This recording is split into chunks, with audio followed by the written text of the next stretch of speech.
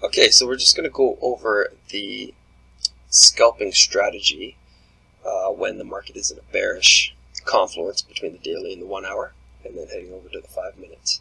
Um, as you can see, I'm on the AUD USD uh, daily chart. It's just a plain chart. First thing we're going to want to do here is go to our templates and load the scalping template. Okay, it puts everything on the screen that we need. We're going to do the same thing and turn off our trend report just so we can see the candles. And here we can see on the daily the start of this downtrend was one candle back. We hit our crosshair starting at the current candle, left click, drag over, and you can see it's one candle back. We're just going to go to our higher time frame, red, since we have a red candle, and it's bearish.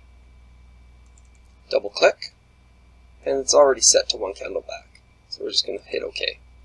And it draws our higher time frame, top line, bottom line. And you can see that the higher time frame is down. Now we're going to head over to the one hour and do the same thing. Starting at the current candle, we can see we're in a bearish trend to the downside here. And the start of that is right here on this candle.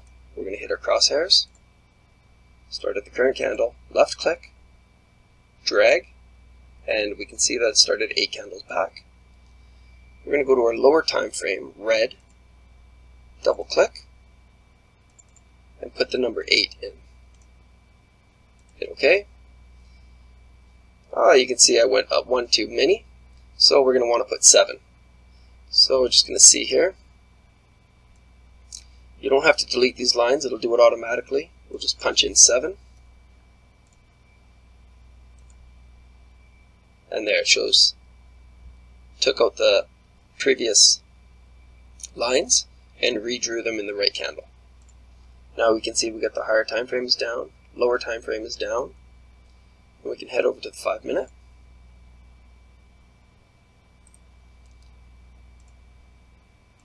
Turn our trend report back on. And it's already set to the 5 minutes here. And now we just wait for some bearish signals. Once again, like the bullish, we were wanting green for the MACD. Um, so we were looking for the reverse for bearish opportunities and shorts we're going to want to see the red candle uh, signal bar come in, but we're going to want to look for lower lows, lower highs. Just like this candle didn't create a lower low here, did create a lower high. This signal here created a lower high and a lower low. That would have been valid, except the MACD is sloping to the upside. Okay?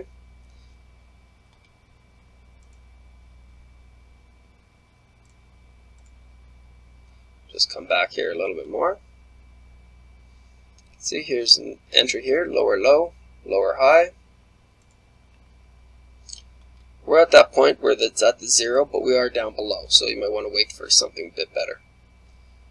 Um, always to wait for a nice a nice move rather than getting into choppy moves such as we're in right now.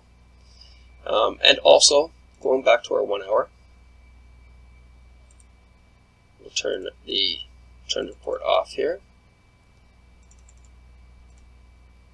And we always want to look for higher time frame resistance and support areas.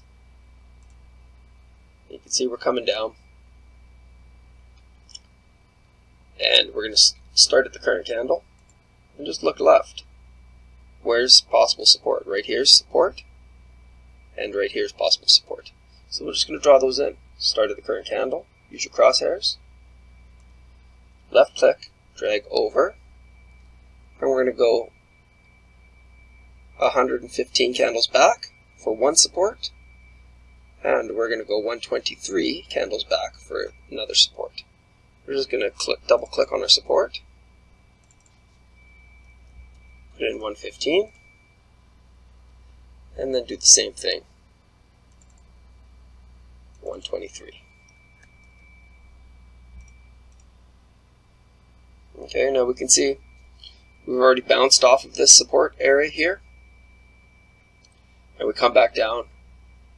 And if we get a greenish green candle to the upside here, um, that's going to give us a higher low and a higher high if we close up here. That's going to make this invalid because our lower time frame, we're on the one hour, will end up being bullish. So we're not going to want to take a trade and looking for shorts on the five minute. But we come back down to the five minute now that we put in some support levels here and we can see we wouldn't want to be taking any trades down into this area anyways it just doesn't give us a good risk reward ratio. Uh, you never want to sell into support or buy into resistance on the higher time frames.